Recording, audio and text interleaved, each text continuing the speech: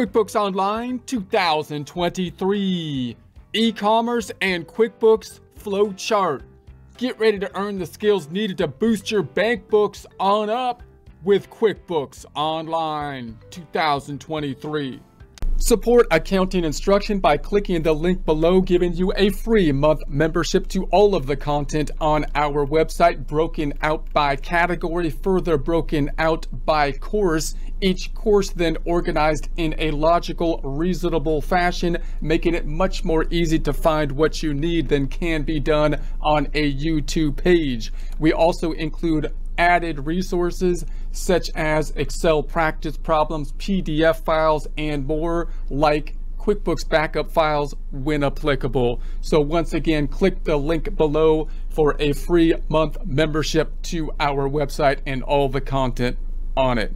Here we are in our QuickBooks Online test company file. Remember, in the primary two ways you can practice with QuickBooks Online, possibly for free, is number one, the free 30-day trial, often offered by Intuit. Intuit being the owner of QuickBooks, which you can currently find on the Intuit website,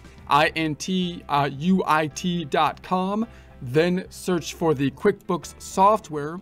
I would normally then go all the way to the bottom of the page because although this sales page will change over time, they have had this footer quite static and constant over the years where you can then select the product of QuickBooks Online.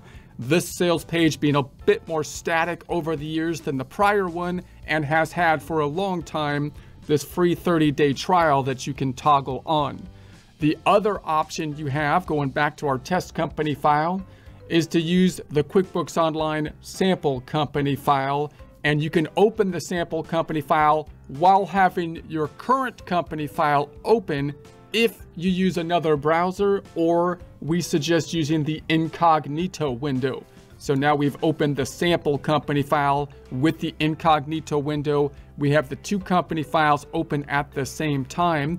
If you're using Google Chrome, you can open an incognito window by selecting the three dots in the browser, new incognito window, then search for QuickBooks Online Test Drive, select the option that has intuit.com because Intuit is the owner of QuickBooks in the URL. Okay, so now we want to think about the flowchart for QuickBooks and the normal process for an inventory related company so that we can then deviate it or change it for the specific needs when we're dealing with a company that has e-commerce and another platform such as I've got like a Shopify store uh, over here. So we have a Shopify platform where the actual sales are taking place.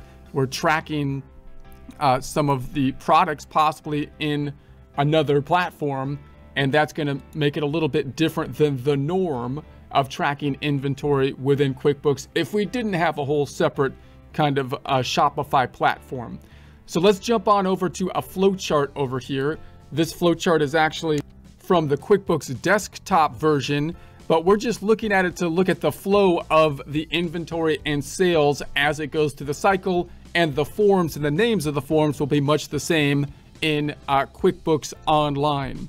When thinking about a business that buys, marks up, and then sells inventory, making a profit from that profit margin, we can follow the flow of the inventory from the purchase of the inventory represented in our flowchart here in the vendors or purchases cycle to the point where that inventory is sold represented in our flowchart in the customer's cycle, which you can think of as the sales or the revenue cycle. We're first going to consider that as if we're basically an on-ground type of store because QuickBooks is basically designed for that type of setup. And then we want to think about what kind of modifications need to happen within the process when we actually have a virtual type of store and a lot of the logistics are being handled not in an on-ground type of situation, but by a third party uh, that we're going to be integrating in. So how can we pull that information into something from like a Shopify or an Amazon in order to construct our financial statements?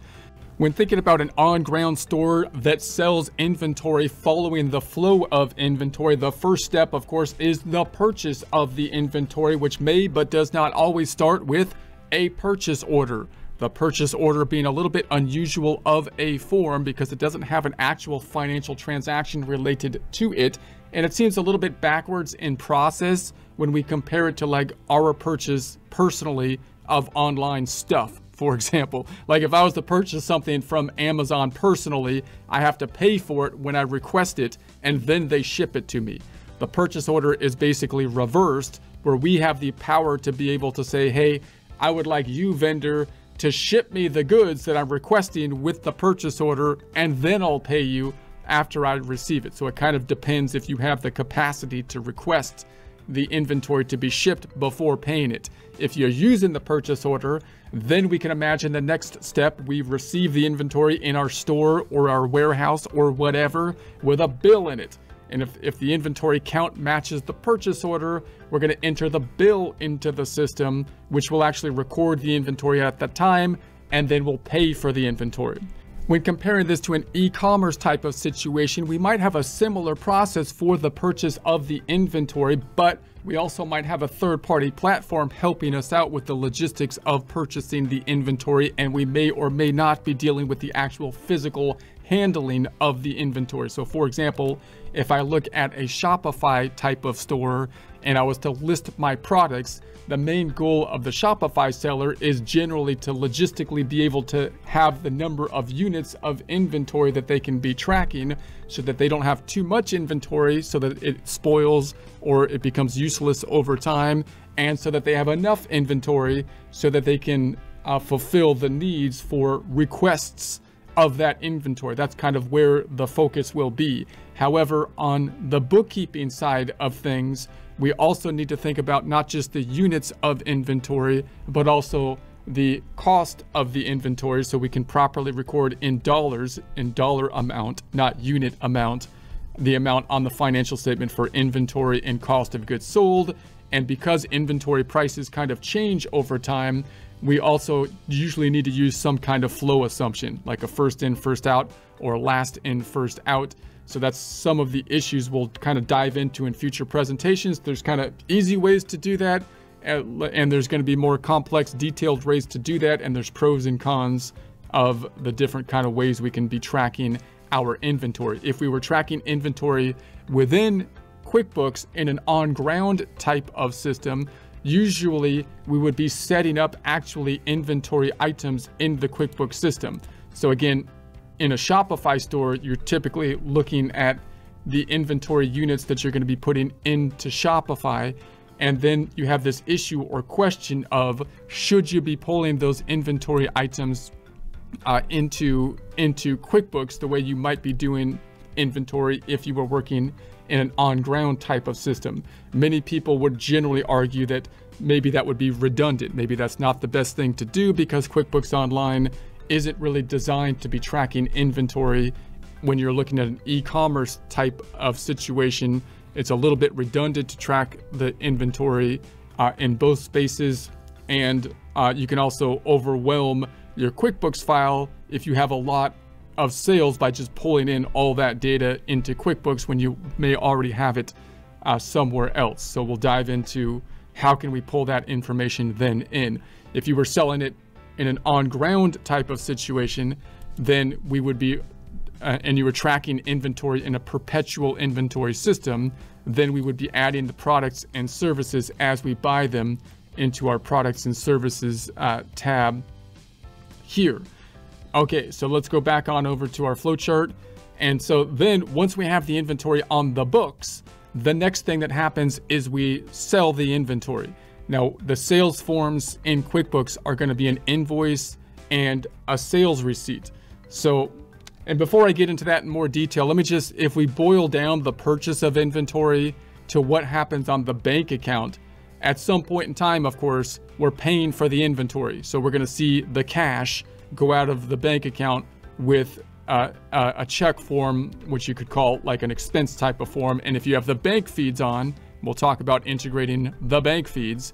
We'll see it, uh, the money go out of the checking account. And then the question is, how are, how are we going to record basically the money going out of the checking account? If we were doing a full service tracking inventory system within QuickBooks, we, we would need to be uh, tying it out to the items so we can run inventory reports. If we're not doing a full service system within QuickBooks, which is typically the case when you're using a Shopify store, we're going to have to track inventory someplace else, partially in the third party platform, because we'll have the units of inventory that we can uh, try to make sure to populate here, but we're usually going to need something else like a spreadsheet or possibly a third party app, depending on how complex you want to get. All right. Then when we sell the inventory, if it was an on-ground store and we're using a perpetual inventory system, we would use an invoice and uh, or a sales receipt. So if it's actually in a store and someone bought it in the store, we would use a sales receipt so we don't have to track the accounts receivable and the invoice is used when we're going to have to deal with accounts receivable to track them to pay us later. So let's just think about a sales receipt situation because that's similar to an e-commerce situation because when someone buys something on a website, they're typically going to pay for it at that point in time, which is similar to someone purchasing something like in a store and bringing whatever they're purchasing up to basically the cash register. Now, when you think about a sales receipt, the transaction that happens in a sales receipt is quite complex actually, even though if it's set up properly, it's easy to facilitate. You might have gone to a grocery store that has a self checkout. You can do it yourself. You just scan the thing. But the actual transaction that's happening is it's recording an increase in uh, whatever you're paying them in cash uh, that's going up, possibly into some uh, uh, holding account so they can group the payments and then put it into the bank account. The other side is going to revenue or sales and then you also have to deal with the decrease of inventory at that point in time. And you have to deal with the related cost of goods sold and possibly with sales tax. All happens at this point if you're using a perpetual inventory system. So, so that means that if I was in QuickBooks, in order to do that, I would have to have my items to be set up properly. And then, and then when I, and then when I make a sale, I would use either an invoice or a sales receipt. And the items, as I enter the items into the system, and we'll show a demonstration of this in future presentations, it would properly uh, do everything we just said. It would reduce the inventory account in dollar amount and as well as the subsidiary reports in unit, record the proper cost of goods sold related to that, and record the sales related to that, and deal with the sales tax. Now, Obviously, we can't do that in a Shopify situation because we're not usually going to make a sale with a sales receipt form.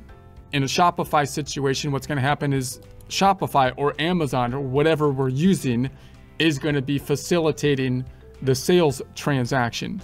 So, what we're going to see on our side then in QuickBooks is eventually the sale is going to hit the bank account. So, what happens is I'm going to make the sales here. And usually each sale may not hit the bank account uh, at each sale. So if I sell $5 products, then it's not like my bank's going to be hit by $5, $5, $5 each time. Oftentimes there's going to be some kind of batching that that takes place. So if I was in an on-ground store, for example, and I'm at a cash register, I would basically make whatever sales I do for the day, if they were cash sales, I would group that cash together, go to the bank, and then deposit a lump sum for the cash sales that happen. So what's going to happen on my bank account is I'm going to have a lump sum amount that's going to be hitting the bank account.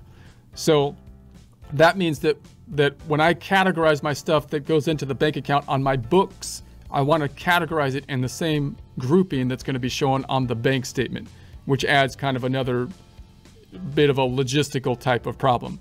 So, so when we think about an e-commerce situation, we're not going to have a sales receipt. What we do have are the bank feeds. We're going to see the thing hit the bank. So that's one thing that we can deal with. Now, when we see the thing, when we see the deposit hit the bank from like a Shopify store, as we saw in the past, one of the problems is that we're not going to see some of the expenses and stuff related to it.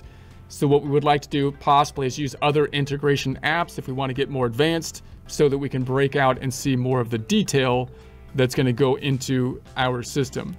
So so usually the question is, well, how am I going to how am I going to deal with this inventory flow within within QuickBooks when I'm actually facilitating some of these transactions in a third-party platform?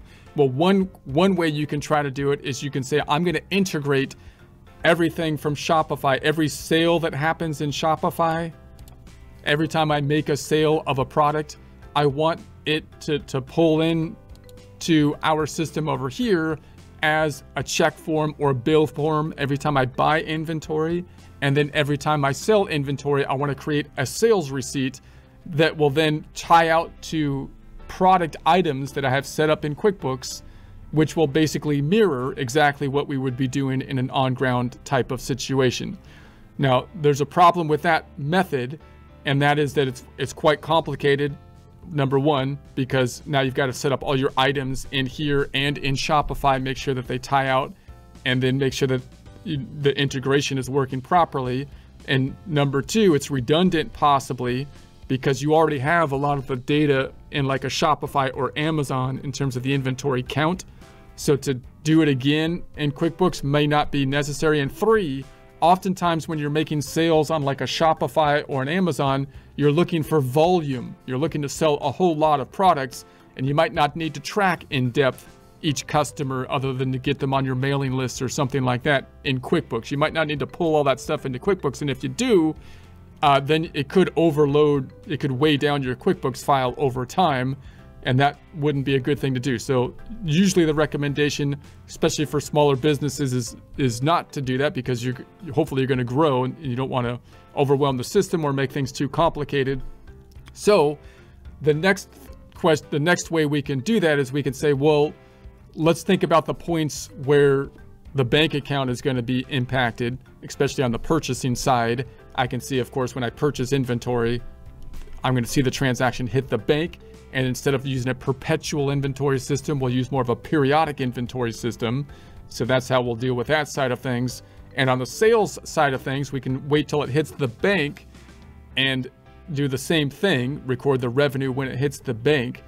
However, we're also going we might want a little bit more detail than that on the on the revenue side. So we could use integrations and apps to kind of give us more more detail on the fees and whatnot.